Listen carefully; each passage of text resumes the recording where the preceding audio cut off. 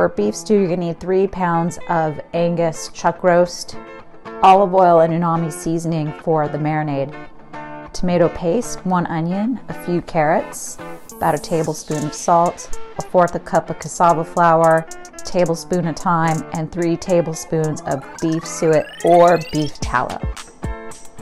Hi, welcome to to Dish. This is Tamar, and today I'm going to show you how to make beef stew in an Instapot really easy.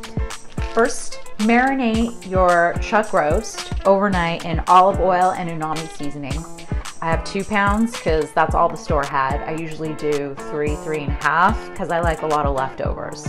But we'll work with two and a half. Put that aside for now. We're gonna fill the Instapot in this order. First, grab your bone broth and we have a great recipe on how to make bone broth in our other videos. Check it out. Start with filling the pot with two cups of bone broth.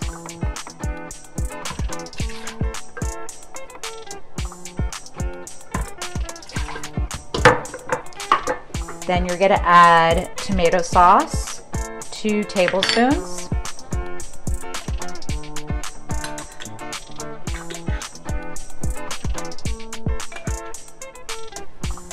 Okay, Then you're gonna have three tablespoons of beef tallow or uh, suet, beef suet. I have beef suet. Throw that in there. A teaspoon of salt and a tablespoon of thyme. Okay.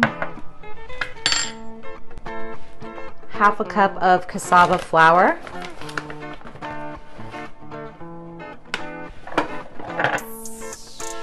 This is gluten-free and dairy-free. Mix that up.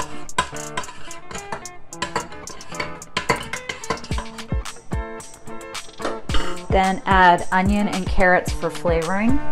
This is half a chopped yellow onion and four carrots.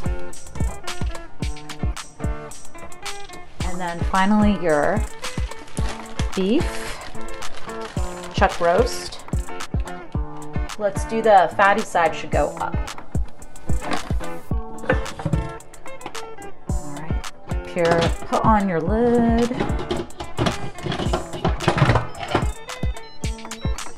Ninety minutes.